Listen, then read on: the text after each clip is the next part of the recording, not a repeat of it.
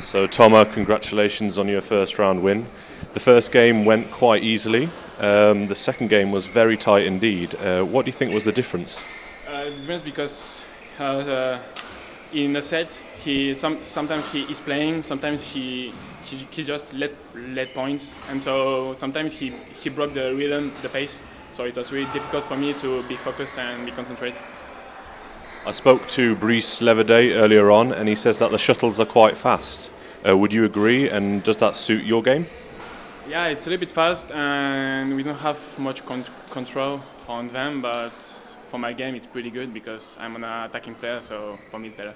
But for the other guys who are more, you know, r- running and who, who have more stamina, it's a bit bad for them.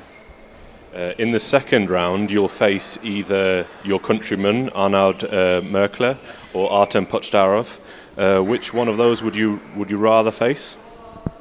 I don't know because now we are playing and it's really close. But if it's Arnaud, it's it's, uh, it's better for him, and if Artem is the same. But if I play against Arnaud, it will be a little bit, you know, weird because we are friend, friendly kind and we know each other from a long time ago. But in the in the game, in the match, there is no friends. We are enemies, so we have to beat each other. Perfect. Thank you very much, and best of luck for the tournament.